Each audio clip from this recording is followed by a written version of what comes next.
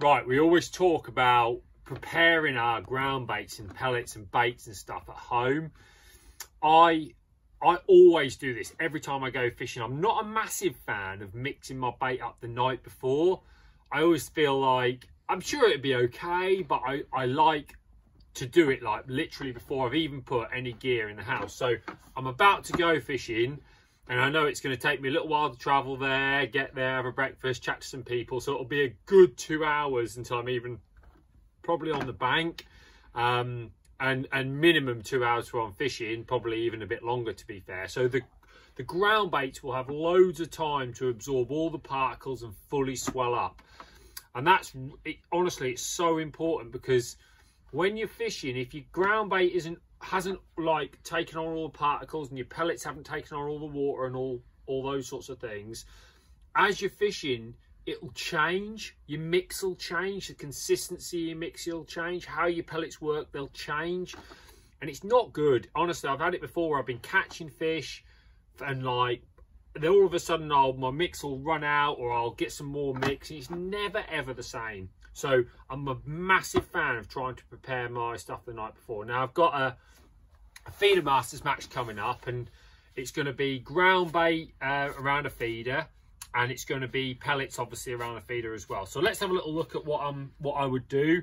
And this is what i tend to do like so like the night before i'll get what i want ready in the bucket so i can just walk in in the morning. I've got an old bottle just tap water. I tend to put it in there night before again. I'm trying to save myself a bit of time. So just get my pellets so before you know anytime when i'm getting ready the day before and i always use a bucket I love a big open bucket so my bait isn't like overly soaked up or anything like that. And then I get my ground bait mix, which is going to be some F1 original and a bit of F1 dark as well. Just going to darken it off a bit. So that's going to be my mix for this match. I love, you know, I'm fishing for F1, so it'll be the perfect mix around the feeder. And I don't need loads of bait. Um, just, just don't like I just want that sort of like in-between colour. Look at that. That's that's going to be absolutely perfect for me for tomorrow. All right, so that's how I would do it. And I sort of go to bed with the mixes all ready like that, dry. And then now in the morning, what I'm going to do is I'm going to soak the baits up. So I'm big into bait booster. I always like to put some on my bait. So if you're going to add something to it, let's say whatever it is you're going to add to your bait, if it's nothing, it doesn't matter. But I like to do it, and this is the stage I like to do it in. So both mixes are going to get a, a glug of this. So I'll just literally glug it in the middle. I'm not even going to spread it round. There we go. And then exactly the same with this one. Nice big glug in the middle. Perfect. And then get my water just straight on top of it like that. All right. And then just work it round. So basically distribute that all through the mix. These pellets will take on a bit more water there. There we go, that's perfect. So just gonna mix those pellets there. You guys can't smell this, but smells great. It's like a caramel smell. So look, this is the amount of water that you need for preparing your pellets. Look, almost just breaking the surface, tiny bit more actually. So look, just like that, that's it, perfect. So the pellets are almost just breaking the surface all the way round and I'll literally leave those. So those to one side, I will put the bucket on top. So same with the ground bait, just pour a bit of water. And when you're mixing your ground bait, you want it to be over wet. You want everything to have a chance to absorb loads of water. So pellet-based ground baits, they take on so much water, it's crazy. I just keep mixing that there, a bit more, even a bit more, because it will dry out a lot. All right, so literally just give it a really good wet. So there's plenty of water in that ground, but I'm going to give it more. Really want to make sure those pellets are nicely blown up. So there, there we go, work that. That's absolutely spot on. So all I will do now, it's dead simple. When I get to the bank, I'll use a, I'll push that ground bait through a riddle.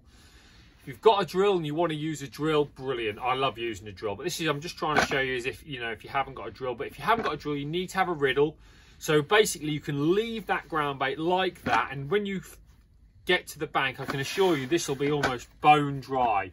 But you can push it through the riddle to make sure any bits where there's a bit more water we'll obviously break it all down. And we'll try and I'll show you it in a bit when it's dried out. All right and all I do to travel to the bank is get this bucket put it on top of the pellet bucket because I don't want the pellets to sort of over expand I want to like keep them trapped if you like. And then get my riddle. That's it. So into the van. When I get out on the bank we'll have a look at this bait so we've got come on the bank and here is the bait as prepared. Um, like I said, I literally haven't touched it now since I left home. So let's have a little look. So there's the ground bait and this will be like a bit of a solid block if you like, where look, where it's just sort of absorbed all the water. But I mean, that is bone dry, bone dry when you compared with how I had it before. So all I'll do is literally run it through that riddle. But that means and if we get close up, hopefully you can see, look how blown up all the particles are. But they're all really soft all the way through. And that's the, if I like, if I like sort of rub it with my fingers, you see they sort of just disintegrate. That's how you've got to have your bait. Ground bait's there to attract the fish into the peg and sort of as they eat it, not fill them up. So now I know if I wet this up a little bit, I've got the perfect ground bait all the way through. And then underneath, there's those beautiful pellets. Look, totally blown up. Again these will be like a solid block so just get a hand underneath it. Smell that flavor as well.